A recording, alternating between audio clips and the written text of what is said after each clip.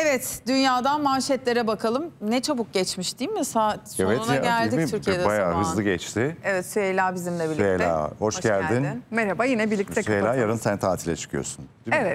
E, bir ne zaman 10 gün geleceksin? kadar olmayacağım. Önümüzdeki hafta Önümüzdeki yok mu? hafta yoksun. Bir sonraki hafta. 14'ünde burada Dolayısıyla bu hafta için senden son dünyanın manşetlerini alacağız. Evet.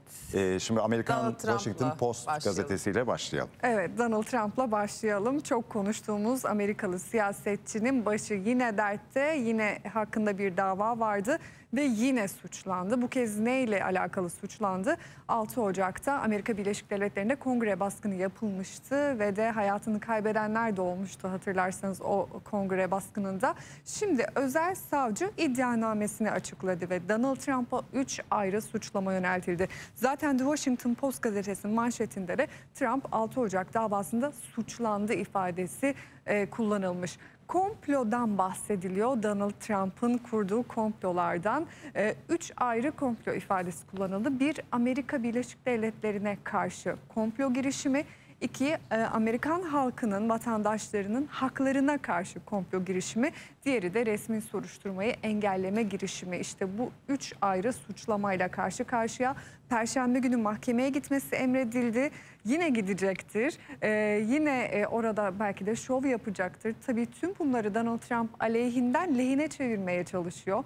Mağdur olarak kendini de göstermeye çalışıp kendi kitlesini mobilize edip daha e, sabit tutmaya da konsolide etmeye de çalışıyor.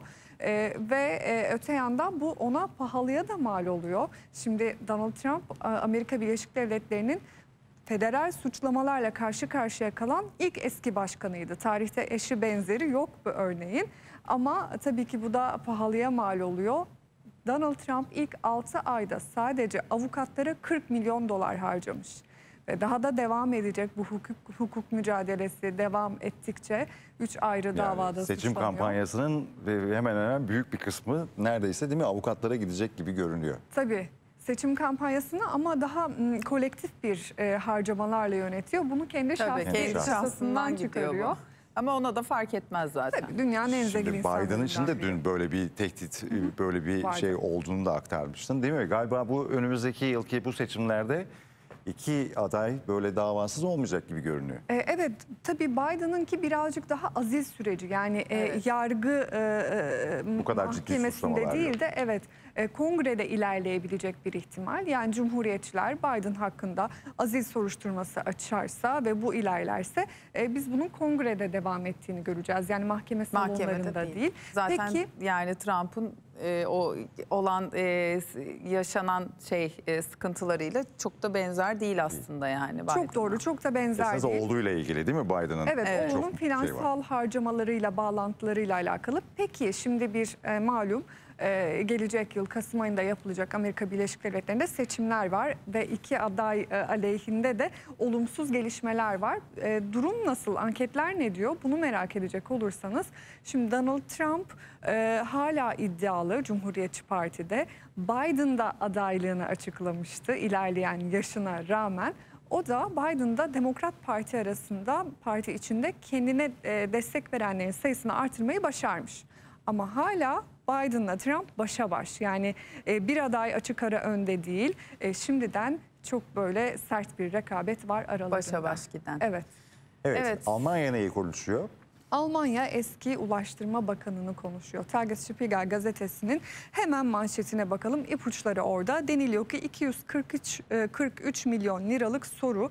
Bir bakanı görüyorsunuz eski bakanı ve arkasında e, yol üzerinde bir köprü. Neden bunları görüyoruz? Çünkü Almanya'nın eski Ulaştırma Bakanı köprü geçiş ücretlerini kendi döneminde alt üst etti ve daha sonra bu da hükümete pahalıya mal oldu. Hükümet milyonlarca euro e, tazminat ödemek zorunda kaldı. Şimdi yeni Ulaştırma Bakanı şunu inceliyor. Hükümete pahalıya mal olan politikalardan şahsen eski bir bakan sorumlu tutulabilir mi? E, önemli bir soru çünkü emsal teşkil edecek. E, bir yandan da Almanlar şunu soruyor. Bakanlar artık sigortalanmak zorunda mı? Yani kendi eylemleri nedeniyle. E, birazcık düşük ihtimal olarak görüyorlar. Eski bir bakanın sorumlu tutulmasını bu e, hükümete tazminatla e, tazminat ödemesine yol açan durumdan ama tabii ki benim de ilgimi çeken bir tartışma olarak iki ülkenin gündeminde hem Amerika'nın hem Almanya'nın işte böylesi durumlar var. Evet Ve Rusya. İzvestiya gazetesi. Doğru artık çözdün. Artık çözdüm. İzvestiya gazetesi e, Rusya'da 10 Eylül'de yapılacak olan seçimlere dikkat çekmiş. 10 Eylül'de hem yerel parlamento seçimleri, valilik seçimleri e, yapılacak Rusya'da ama bir soru var, bir konu var. E, ilhak edilen bölgelerde nasıl oy kullanılacak? Biliyorsunuz ki Rusya e, Ukrayna'nın e, hem Donetsk, Luhansk, Zaporijya, Herson bölgelerini ilhak etmişti. Ee, ve bu noktalarda yaşayan Ukraynalıların aslında Ukrayna belgeleriyle oy kullanabilecekleri ortaya çıktı, açıklandı. Bunu da manşetine taşımış İzvestiya. Kendi tüzüğüne göre ifadesini kullanarak manşette. Yani e, ilhak bölgelerinde yaşayanlar Ukrayna pasaportlarını, ehliyetlerini, kimliklerini göstererek Oy kullanabilecek. Rusya için oy kullanacaklar. İşte bu da yine çelişkili bir durum. Şimdi Evet. Çin, Çin bakalım. basınına çok fazla bakmıyorduk değil Evet. mi? Ama bugün seçtiğimiz gazetede hangi başlığı göreceğiz? Evet China Daily'de hangi başlığı göreceğiz? Çin'in kuzeyini vuran Doksuri tropikal fırtınasını göreceğiz. Ölenler de var değil mi? Ölenler de var, can kaybı var. Çok şiddetli bir fırtına gerçekten de. Can kaybı dün 11'di, 20'ye yükseldi. Onlarca kişi kayıp. Yani Çin Pekin dahil birçok kenti sular altında kaldı. Başkenti Pekin'de son 70 yılın en şiddetli, en yoğun yağışı kayda geçti. 100 bini bulan kişi de tahliye edildi evlerinden. Cidden olağanüstü bir durum var. E, Çok sayıda yol, e, ev, iş yeri su altında kalmış durumda. E, China Daily gazetesi de Çin lideri Xi Jinping'in bir çağrısını manşetine taşımış ve deniliyor ki arama kurtarma çalışmaları mümkün olduğunca tam kapasite devam etmeli talimatını vermiş. Çünkü dediğimiz gibi kayıplar var. Can kaybının artması ihtimali söz konusu Çin'de. Evet. Şimdi Fransa'da Le Parisien'e baktığımız zaman barınaklar Evet. Bizdeki sorun tabii ki dünyada da bir sorun aynı zamanda ama onlar hangi açıdan bakmışlar? Le Parisien aslında enflasyonun hepimizi etkileyen, Türkiye'yi de çok etkileyen enflasyonun Hayvanları kurbanlarının evcil hayvanlar olduğuna da dikkat çekmiş. Zaten fotoğraf çok e, acıklı, e, ilk sayfada seçilen bir barınakta adeta hapis tutulan ve yardım bekleyen bir kedi, bir yavru kedi görüyoruz. Şunu söylüyor Le Parisien e, manşetinde. E, hayvan barınakları dolup taşıyor. Şimdi şöyle bir durum var birçok ülkede e, benzer olan.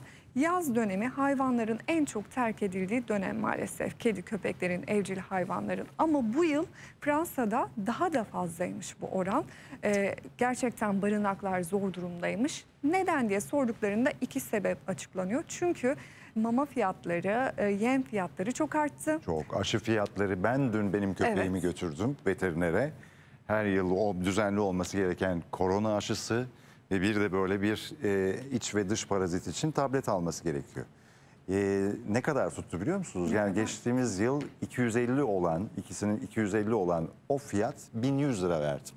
Of yani yüzde yüz bile artmamış. 1100 lira çünkü bu ilaçların, e, bu aşıların hepsi ithal ve her Tabii. ay değil her gün artıyor. Dolayısıyla bir yıl önce 250 lira bile tutmayan bir aşı, bir tablet dün çok yeni yani dün götürdüm.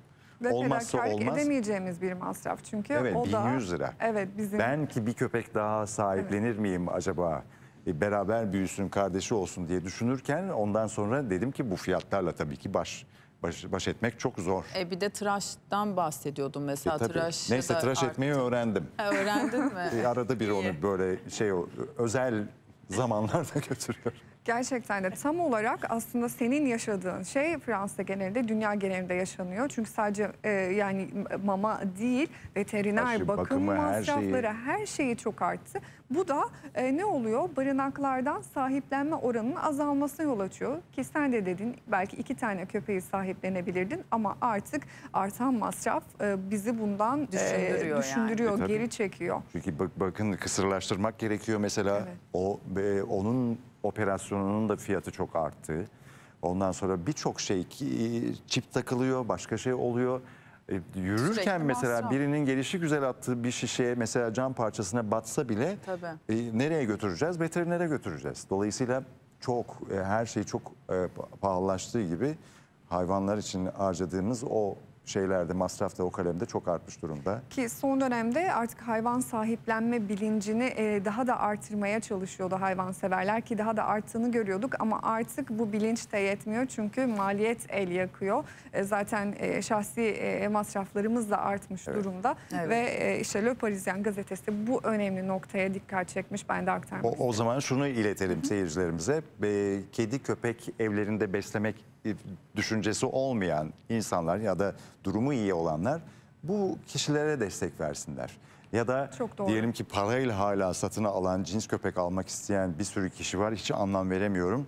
Barınaklar onlarla dolu ve barınaklarda da son derece e, kötü şartlarda bu hayvanlar. Alt alta üst üste pislik içerisinde çoğu bazı örnek olarak bir iki tane vardır belki. Dolayısıyla e, bunun cezasını bu masum canlılar çekmemeliler veya destek olalım e, hayvanları olanlara değil mi? Hayvan derneklerine bağışlarda bulunalım ki çok önemli bir sorundan bahsetmiş hakikaten Le Çok doğru.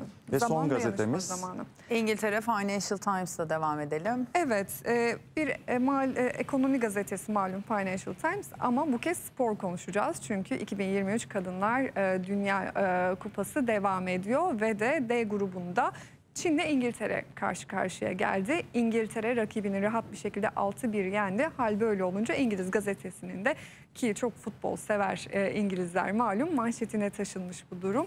E, dişi aslan, aslanlar kükrüyor ve ilerliyor ifadesi kullanılmış İngiliz kadın futbolcular için de. E, bakalım bu şampiyonanın galibi kim olacak? İngiltere şu an avantajlı. Bakalım. Süheyla teşekkür ediyoruz. Teşekkür ediyoruz Süheyla. Ben teşekkür Sana da ediyorum. güzel Evet. bir tatil diliyoruz. Ee, biz de noktalıyoruz Türkiye'de sabah. Bizden Birazdan hemen sonra Sultan Arınır. Sultan Arınır sizlerle birlikte olacak.